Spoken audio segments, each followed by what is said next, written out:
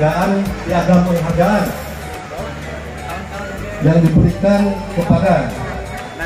memberikan penghargaan atas kinerja dan kontribusi memerangi illegal fishing di desa Trimartani Kecamatan Suwababan Kabupaten Kabupaten kepada Bribka Hairul Yamin SH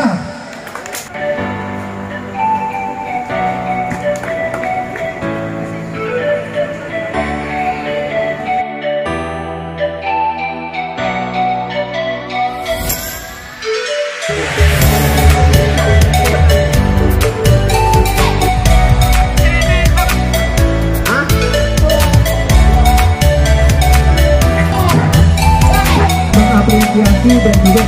mengucapkan di sini